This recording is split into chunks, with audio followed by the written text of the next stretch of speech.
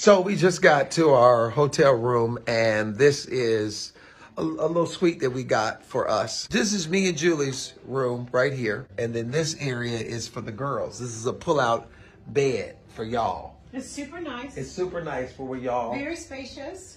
We're- Spacious? Yes. This area in itself is perfect for David and me. Beautiful. Okay, so is it either for you or for me? well, I'm just saying you guys should be thankful for this room. This But it area. doesn't matter if it's spacious or not. Like, what am I gonna do over there?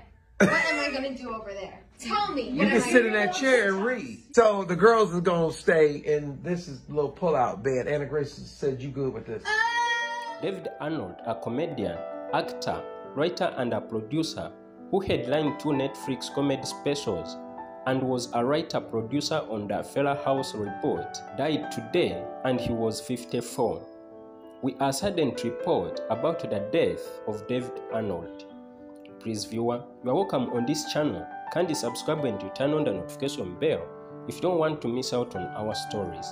Thanks. The family of David Arnold has issued a statement confirming the death, and it reads It is with a great sadness that we confirm the untimely passing of our husband, father, brother, and a friend, David Arnold.